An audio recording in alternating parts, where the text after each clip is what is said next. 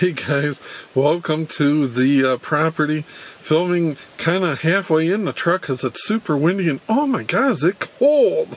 It has turned fall overnight.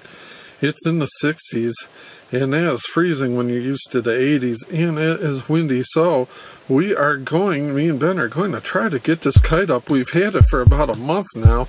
We've tried it three times before with little wind and he had no success. So that's the baby. It's the Tantrum, uh, Prism Tantrum. So we'll see what happens. There it is. It's flying. There's Ben way over yonder. It just went up.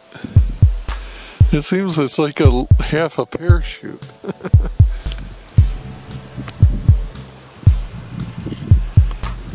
That's cool though.